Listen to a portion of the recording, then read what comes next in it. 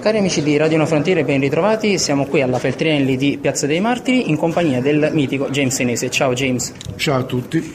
Allora, siamo qui per la presentazione di questo nuovo disco insieme ai Napoli Centrale Osang. Che disco è questo qua rispetto a quelli che hai fatto insieme ai tuoi colleghi chiaramente nel passato?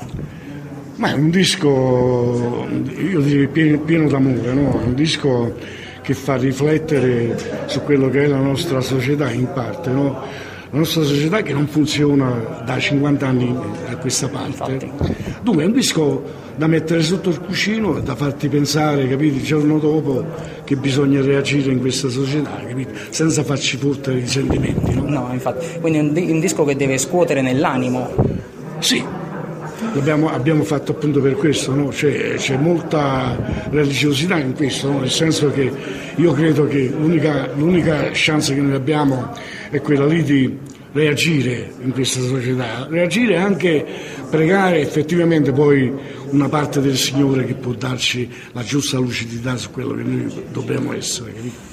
Mm, insieme eh, tu hai avuto modo di collaborare con tanti artisti di eh, grandissimo calibro come chiaramente sei tu, ehm, eh, ci sono anche i tuoi colleghi che hanno segnato una generazione come per esempio anche Enzo Avitabile, ecco per le generazioni future qual è il consiglio che vuoi dare? Cioè, mm, non lo so, per suonare il sax serve questo o non lo so, ecco, no, so, guarda, chi vuole fare guarda, musica io, che cosa io deve fare? Ti dico, ti dico questo, no, che eh, per comunicare con il popolo no? in generale, parlo universalmente parlando. Certo. Cioè, bisogna fare eh, la cavetta, no? cioè, bisogna veramente amare la tradizione come l'abbiamo amata noi, no?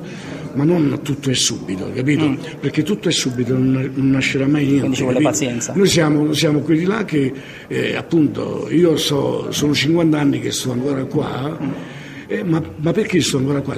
Perché ho, ho sempre amato eh, una parte della mia tradizione, no? da dove vengo, da Napoli, e nello stesso momento ho sempre trattato quello che era eh, a difendere appunto noi, i più deboli, capito? Certo.